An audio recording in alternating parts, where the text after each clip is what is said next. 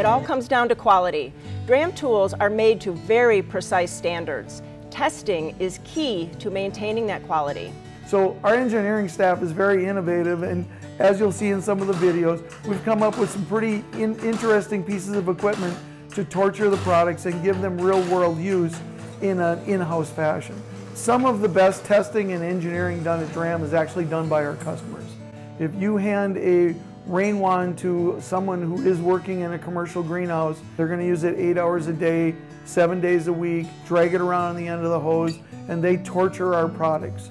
And some of the best lessons we've gotten in engineering is by our customers using and abusing our product. Quality matters. You want to make the world a better place, and if people are, are people are creating their gardens and the greenhouses are putting out, you know, plants that are making us happy and healthy, then we're part of that. Then that's a that's a good thing. That's pretty much all we can ask for.